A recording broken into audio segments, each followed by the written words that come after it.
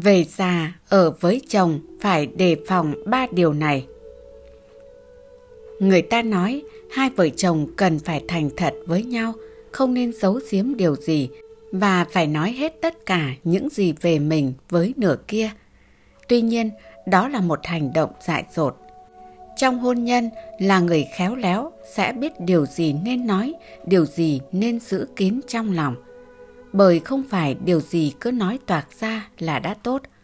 Có những điều nói ra rồi không những không giúp tình cảm vợ chồng khăng khít hơn mà còn có thể gieo mầm mống nghi ngờ, bất an, sự khó chịu trong lòng đối phương, đe dọa cuộc hôn nhân của bạn. Bạn nên nhớ rằng để mối quan hệ vợ chồng tốt đẹp thì cần phải thành thật với nhau. Nhưng thành thật không có nghĩa là thú nhận tất cả. Bạn cũng nên học cách giữ những bí mật nhất định, đặc biệt là một số vấn đề riêng tư không ảnh hưởng đến cuộc sống gia đình thì chúng ta nên học cách giữ bí mật một cách thích hợp. Một, Quỹ riêng của mình Nếu bạn dự định coi tài sản có được trước khi kết hôn là tài sản riêng của mình hoặc để lại cho cha mẹ thì không cần phải nói cho nửa kia biết. Vì nói ra có thể khiến nửa kia cảm thấy buồn, khó chịu, có cảm giác bạn đang đề phòng và không tôn trọng họ. Mặt khác, việc giữ cho mình một quỹ đen rất có lợi cho việc duy trì mối quan hệ vợ chồng. Chẳng hạn như nếu một người đàn ông muốn mời bạn bè đi ăn tối, đi cà phê và người vợ không đồng ý thì lúc này bạn có thể dùng quỹ đen của mình để tránh cho vợ chồng xảy ra xung đột. Một cuộc hôn nhân tốt đẹp được quản lý bằng sự quan tâm, kiên nhẫn và trái tim. Học nói là điều con người cần phải dùng cả đời để học. Mối quan hệ càng thân thiết thì bạn càng phải cẩn thận trong từng câu, từng chữ mình nói ra để tránh những điều không may phát ra từ miệng mình. Khi yêu nhau cũng có rất nhiều điều cấm kỵ, có những lời thả giữ trong bụng hơn là nói ra nhằm tránh xung đột. 2. To tiếng với chồng trốn đông người Đàn ông coi trọng nhất là sĩ diện, là vợ. Bạn cần giữ thể diện cho chồng. Ở nhà hai vợ chồng bạn cãi nhau bất đồng đến mức nào thì ra ngoài đường bạn đừng làm chồng mất mặt với người khác. Dù có giận đến mấy, chồng có làm sai điều gì, bạn cũng cần nhẫn nhịn đừng làm mất mặt chồng, to tiếng với chồng. Hãy chờ đến khi vợ chồng về nhà, hai vợ chồng bạn cùng nói chuyện, thẳng thắn góp ý với nhau. Dù xinh đẹp tài giỏi đến mấy mà không biết giữ thể diện thì bạn đừng trách vì sao chồng ngoại tình đạp đổ tất cả mà lên giường với đàn bà khác. 3. Nói xấu gia đình chồng Việc nói xấu gia đình chồng được coi là điều tối kỵ mà các bà vợ tuyệt đối nên tránh.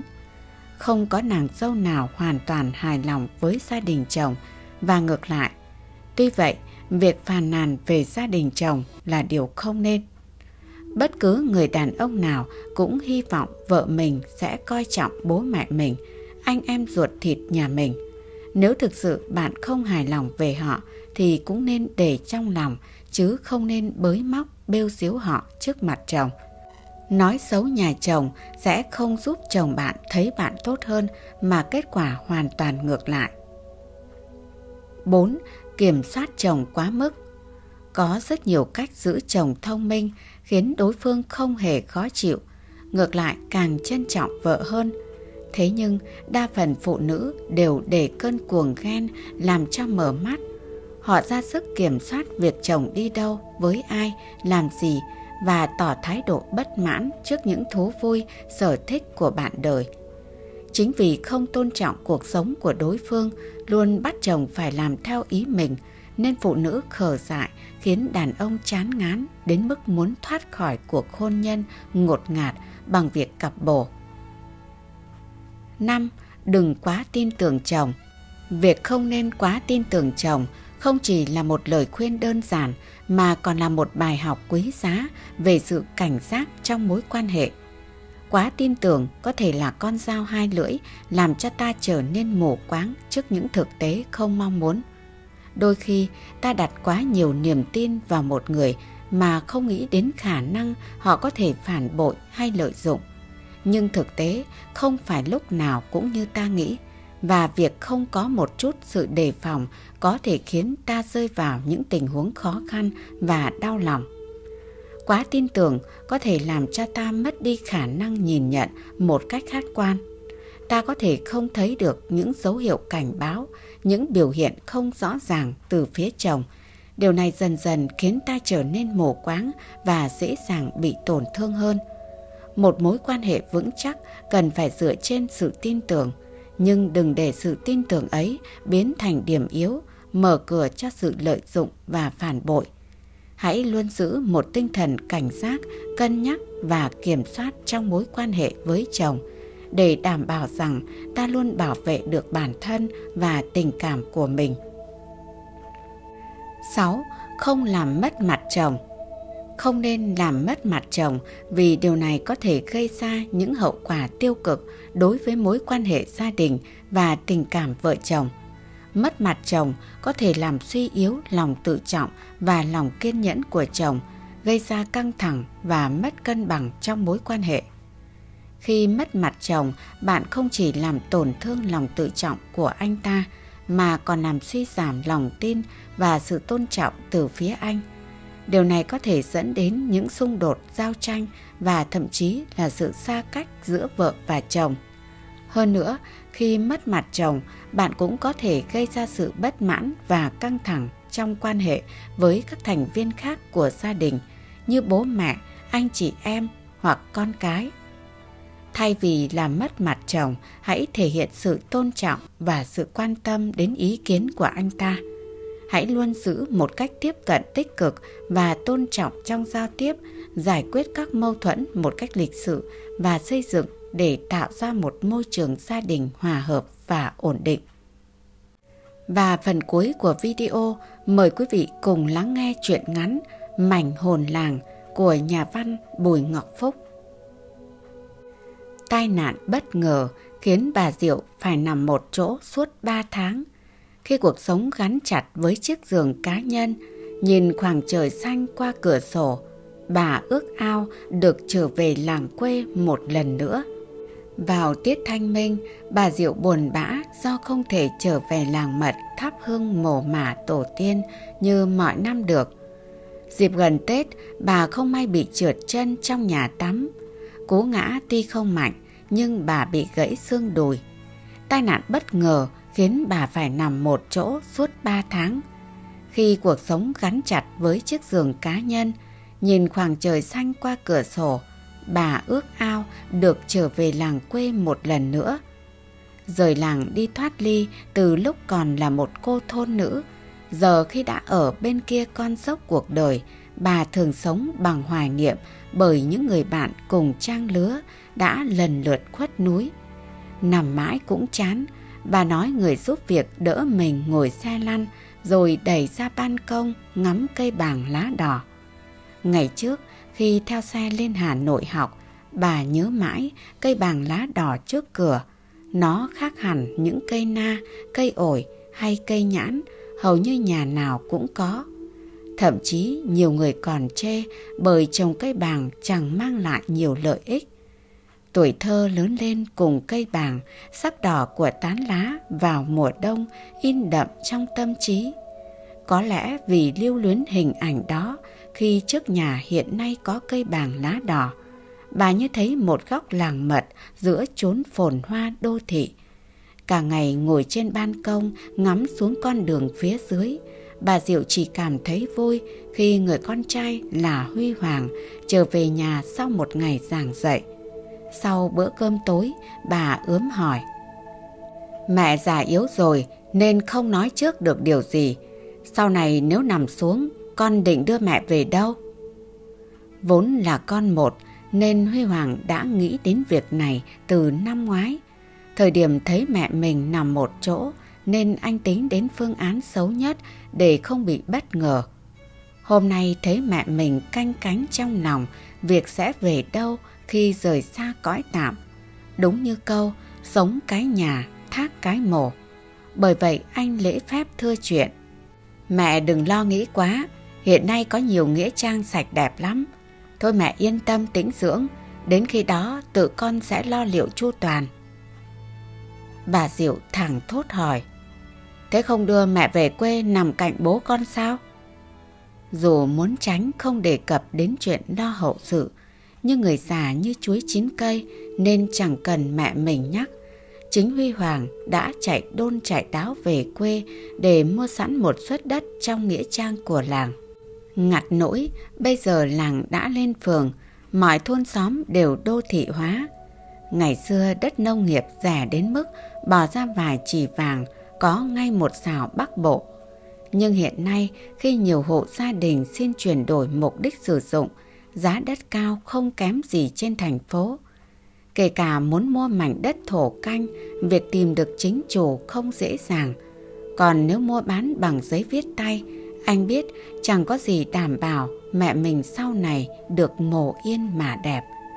Thấu hiểu mong muốn cháy bỏng của mẹ già, Huy Hoàng ngậm ngùi lắc đầu giải thích. Quỹ đất ở quê giờ chẳng còn nhiều nhạn gì. Đất dành cho an táng chỉ trông vào nghĩa trang của làng. Nhà mình đã thoát ly từ lâu, nếu muốn về quê rất khó. Dù đã lường trước việc này, tuy thế do nặng lòng với quê hương, bà Diệu luôn đau đáu việc sau này được nằm cạnh chồng trong nghĩa trang của làng. Biết là khó, nhưng bà rơm sớm nước mắt khẩn khoản nói. Con cố nhờ bà xem sao. Mẹ xa quê mấy chục năm rồi, nhưng lá dụng về cội. Trước đây đi đâu, hồn làng vẫn luôn trong tâm trí mẹ. Sau này nhắm mắt xuôi tay, mẹ vẫn mong ước được về nằm ở nghĩa trang của làng mình. Thương mẹ già vất vả, tần tảo cả đời, dù chẳng biết phải làm cách nào. Huy Hoàng đành hứa sẽ cố gắng hết sức để bà được tọa nguyện. Bây giờ mọi thứ tưởng chừng là khó.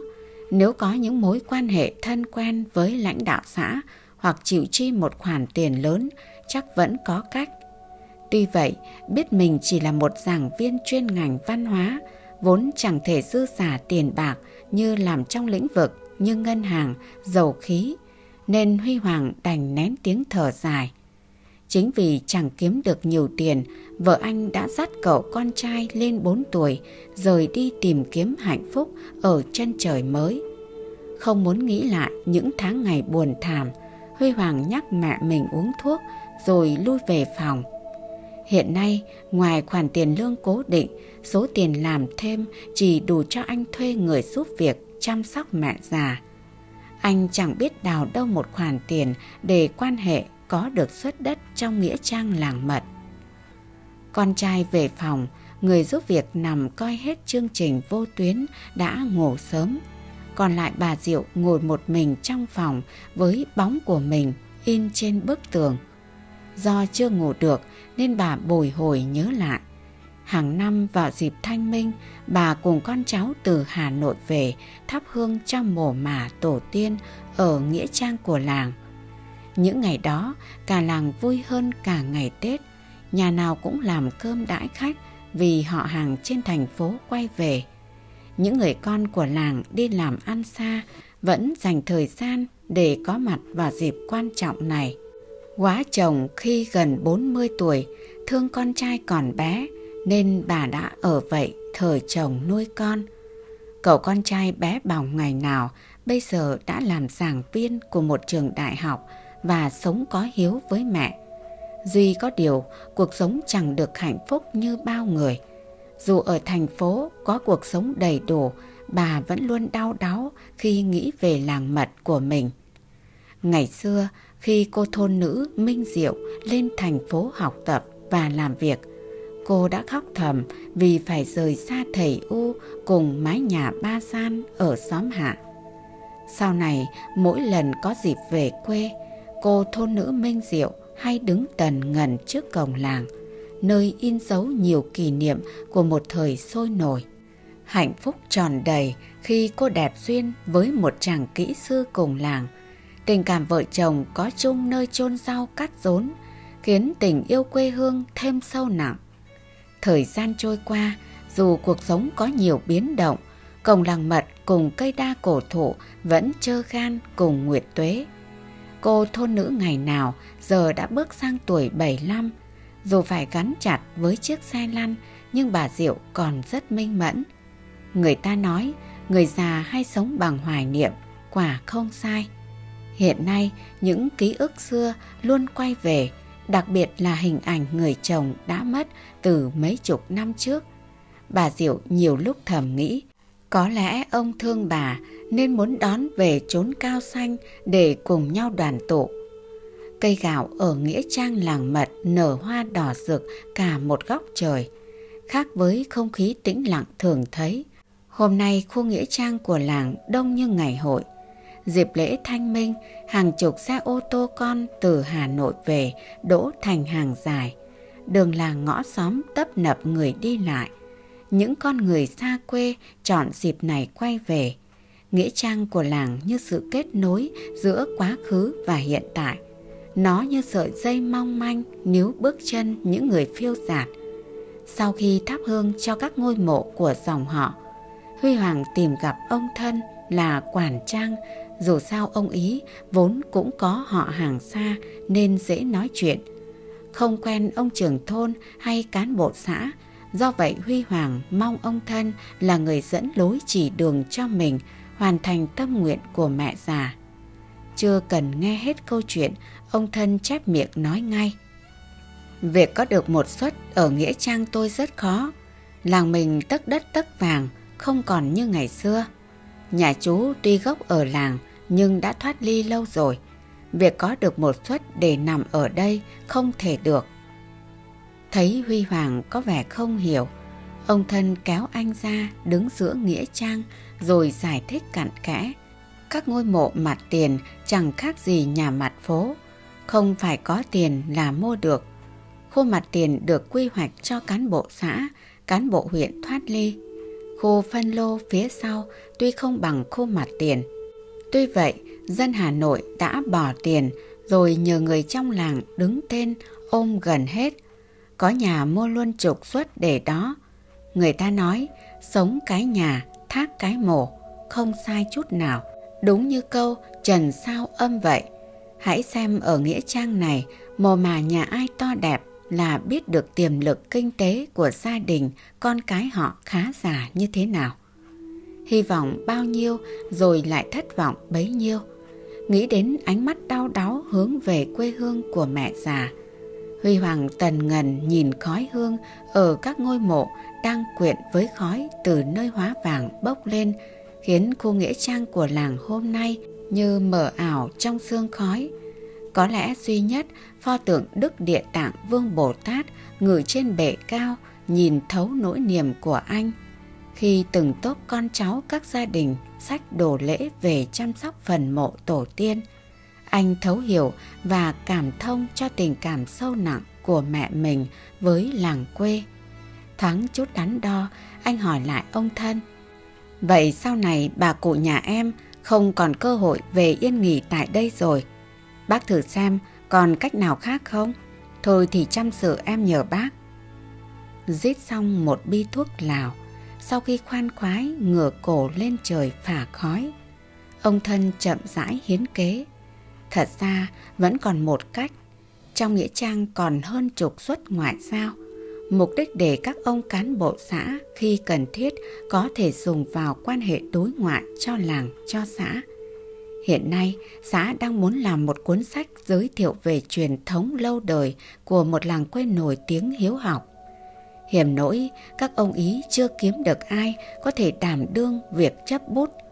Có nhiều cuộc họp từ thôn đến xã, tuy thế người làm được việc này chưa thấy đâu. Thấy Huy Hoàng lắng nghe, ông thân chốt luôn. Chú là giảng viên có tài, nếu nhân dịp này chịu đứng ra giúp xã, tôi tin chắc một suất ngoại giao sẽ trong tầm tay. Như gặp được ánh sáng cuối đường hầm, dù chưa biết có làm được không, Huy Hoàng gật đầu đồng ý, sợ cơ hội quý bị bỏ lỡ. Anh khẩn khoản nhờ ông thân chấp nối gặp đồng chí Thành là phó chủ tịch phụ trách văn xã. Do gặp đúng người để thực hiện công việc hướng tới ngày kỷ niệm của xã, mọi việc đương thông qua nhanh chóng cùng lời hứa của các đồng chí lãnh đạo. Chiều tối chạy xe về Hà Nội, lần đầu tiên sau nhiều tháng Huy Hoàng như thấy được niềm mong ước của mẹ mình sắp thành hiện thực. Không còn thời gian rảnh rỗi, dành 3 tháng đi khắp nơi lục tìm tài liệu. Sau đó là hàng chục chuyến đi lại như con thoi từ chỗ làm về làng để gặp các cụ cao niên trò chuyện. Huy Hoàng miệt mài viết và biên soạn hoàn chỉnh một cuốn sách dày tới 400 trang. Vốn là người con hiếu thảo, anh hồi hộp đọc cho mẹ mình nghe cuốn sách về làng mật. Có lẽ công sức bấy lâu được đền bù xứng đáng. Những đạo sắc phong của các triều vua cùng văn bia đều được dịch sang chữ quốc ngữ nhằm giúp cho những người con của làng thêm yêu mảnh đất nổi tiếng là làng khoa bảng xưa. Chưa rõ lãnh đạo xã đón nhận cuốn sách của mình như nào, tạm bỏ qua việc lo một suất đất. Huy Hoàng say mê đọc trong tiết trời giao mùa. Bên ngoài ban công có những chiếc lá bàng màu đỏ lặng lẽ rời cành, trao nghiêng bởi cơn gió. Ngồi nghe đọc, bà Diệu được đắm chìm trở lại thời xa xưa. Từng dòng, từng trang trong cuốn sách đã tái hiện một phần hồn làng. Sau một tuần nghe, khi con trai đọc đến trang cuối cùng, bà nhẹ nhàng nói Vậy là con đã thành công khi viết rất chân thực về làng quê. Đây là nơi bố và mẹ đã sinh ra và lớn lên. Sau này về già, mẹ càng nhớ làng quê ra xiết Huy Hoàng lễ phép thưa chuyện. Do thời gian không có nhiều nên con chỉ viết được bề nổi. Muốn đi sâu cho tới khi chạm được vào mạch làng, e rằng lúc đó con cũng già mất rồi.